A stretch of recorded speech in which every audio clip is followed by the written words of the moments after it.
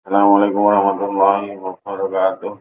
Hai guys, sedulur semuanya. Sekarang kita akan mendengarkan tausiah dari Ustadz Danu. Kali ini tausiahnya akan membahas tentang bagaimana caranya mendapatkan rezeki yang banyak secara tuntunan Al-Quran guys. Silahkan disimak isi tausiahnya, semoga bermanfaat dan menjadi amal soleh kita semua dan bisa kita tiru di isi tausiahnya ini. Silahkan disimak, monggo. Jadi kalau hewan biasanya langsung makanan dia bentuknya. Iya. Kalau momennya Iya, masa uang. iya. Kalau momennya burung kita masih makanan dia pasti berebut rezeki. Hmm. Dia totol-totolan apa namanya patuk-patukan kan gitu. Nah kalau manusia caranya nggak seperti itu. Memang ada manusia yang begitu. Yaitu cara-cara yang tidak disukai oleh Allah Taala. Ya. Termasuk mengambil yang bukan haknya yang tidak disukai oleh Allah Taala. Hmm. Cuma kalau kita manusia ada aturan mainnya dalam mencari rezeki selain berikhtiar. Ya. Allah sudah sudah menjaminkan juga dan tertulis dalam Quran dalam surat Az-Zariyat wa fis sama'i rizqukum wa ma tu'adun. Di langit ada jalan rezekimu dan apa yang dijanjikan oleh Allah kepadamu. Jadi di langit itu ada jalan rezeki kita sebenarnya. Rezeki ada di langit yang akan diberikan oleh Allah Ta'ala.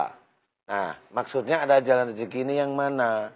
Salah satunya ceritakan, Innahum kanu qabla dhalika muhsinin. Sesungguhnya mereka di dunia selalu berbuat kebaikan. Nah, ini arahan Allah. Jadi seseorang kalau ingin mendapatkan rezeki apa pun bentuk rezekinya, itu harus berbuat baik. Kalau rezeki bentuknya rezeki uang, ya dia harus berbuat baik dengan orang lain. Salah satunya biar dapat channel. Channel dulu ya, bukan KKN nih. Channel dulu lah paling tidak. Orang berbuat baik inilah yang dimaksud rezeki. Nanti kalau orang yang berbuat baik, rezekinya apa orang yang berbuat baik? Terus ini, rezekinya sehat salah satunya. Jadi kalau orang ingin sehat, baik-baiklah jadi orang. Jangan marah, jangan suuzon, jangan benci, jangan ini. Insya Allah dapat rezekinya nanti sehat. Terus apalagi kanu qalila minal laili ma yaja'un. Jadi diceritakan apa namanya? Mereka menyedikitkan malam. Menyedikitkan tidur di waktu malam. Jadi orang-orang ini asbabnya diceritakan bahwa Rasul ini setelah pulang beliau itu bekerja memberikan eh, apa namanya nasihat kepada umat-umatnya. Nah ini di waktu malam orang-orang yang datang mau mendengarkan inilah insya Allah juga dijamin jalan rezekinya karena mendengarkan nasihat dari Rasul. Nasihat, ya nasihat itu harus dipertimbangkan. Lo kenapa mendengarkan nasihat kok bisa mendapatkan rezeki dan jalan rezeki dari Allah Taala, ya toh? Ini yang orang tidak pernah tahu. Wa idza quri'al Qur'anu fastami'u lahu wa ansitu turhamun. Nah, ini hubungannya. Orang yang mau mendengarkan nasihat itu berhubungan dengan salah satu ayat. Jika diperdengarkan ayat-ayat Quran, maka dengarkan, perhatikan agar kamu mendapatkan rahmat. Nah, sudah jelas. Semua dalam ayat Quran itu akan terhubung. Ya, jadi orang yang mau mendengarkan nasihat, insya Allah itu jalan rezekinya diperlihatkan. Apalagi, wabil asarihum yastaghfirun.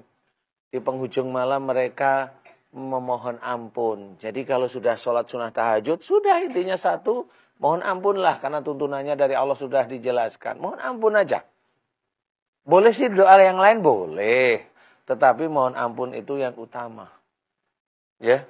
Kemudian apalagi wa fi amalihim haqqul lisa'ili wal mahrum. Jadi sebagian dari rezeki kita nantinya itu itu ada hak untuk orang yang meminta dan hak juga untuk orang yang tidak meminta. Maksudnya orang duafa yang mau untuk tidak meminta, kita yang memberikan.